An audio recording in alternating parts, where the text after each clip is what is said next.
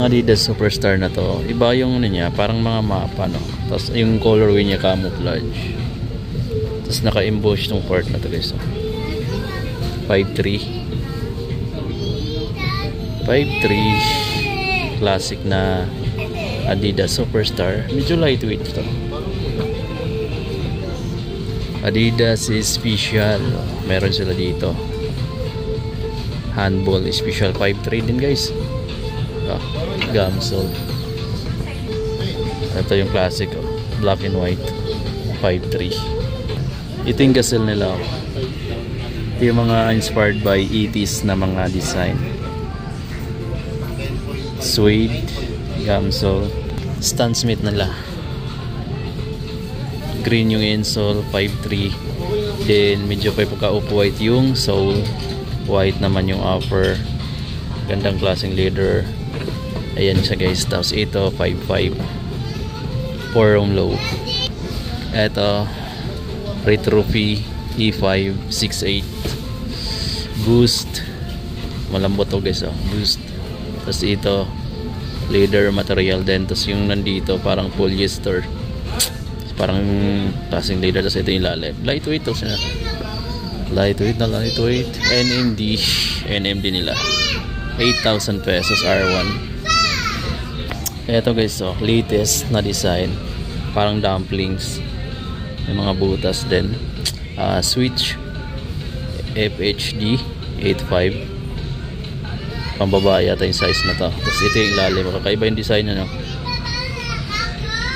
continental rin siya. Kakaiba rin yung mga design niya. Siguro pag inapak mo to sa putikan mahihirapan ka maglinis. Tapos dito pa papasok yung mga potik tapos yung 4WD itong 4D nila na FWD 13k 13k dito. Maraming kulay naman yan guys. Ito naman may ibang kulay pa siya. Green.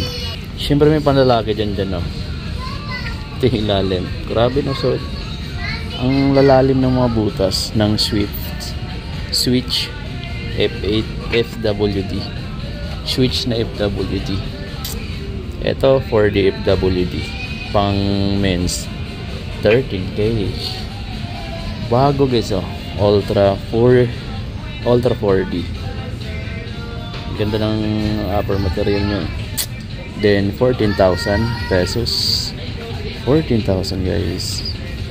Continental it comes with green. Ito naman ultra 4D 14k ito solid. Ang ganda talaga niya. Tingnan no? Lightweight pa. So kaiba yung midsole niya no? Ito, ito yung design ng ano niya.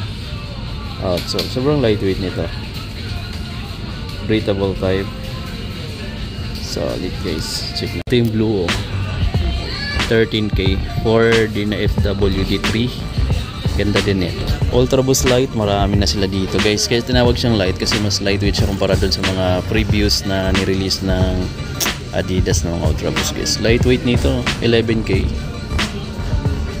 boost. Mas pina-lightweight nila yung mga bagong boost. Ito pa. Ultra light uh, ultra boost light ito pang ultra boost light 11k guys. May blue dito. Ito pa 11k ultra boost light 23 ito pa. Dami. Ito yung mga running shoes nila. Light strike pro. 8k 8k sila dito. Ito light strike pro din yata ito eh. Light strike lang yung sa akin. Ito may pro. 8k lightweight. Ito pa oh. Then tapos ito pa Adi Zero Boston 12 na ang ganda ng kulay tsaka ilalim. Ito Adi din yung sa akin pero speed ito Boston ito Adi to eh.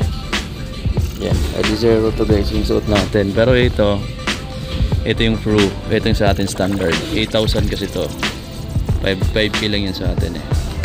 Eto mga ultra boost nila. 9.5 siya dito 1.0 ganda rin ng kulay na eto kakaiba siya oh. pero solid eh guys yung tahi niya dito. Kasi tingnan nyo naman. Tapos ito maganda yung leather material yun dito niya. 9.5 ito ilalim. Ito mas maangas to niya. Pero ito dito sobrang lambot na. Ah, ito pa red. Red yung plastic dito niya. Yung tatlong stripe then 9.5 din siya. Iba lang yung design sa ilalim niya guys. Continental daming ultraboost dito ngayon. Ito guys maganda to. Iba din yung ang material niya pero pare-pareho lang sila dito. 9.5 may kulay na rin yung midsole niya.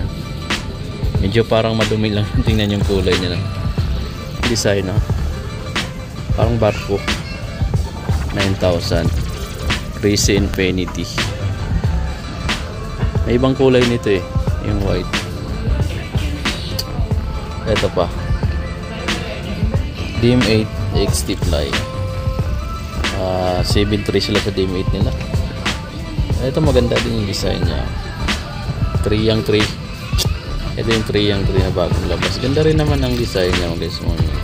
Medyo mabigat na nga lang siya pero siguro maganda na rin tong cushioning niya Diba? napadaan lang tayo sa Adidas kasi tapat nila bagong bukas eto bagong colorway pala ganda oh. Oh.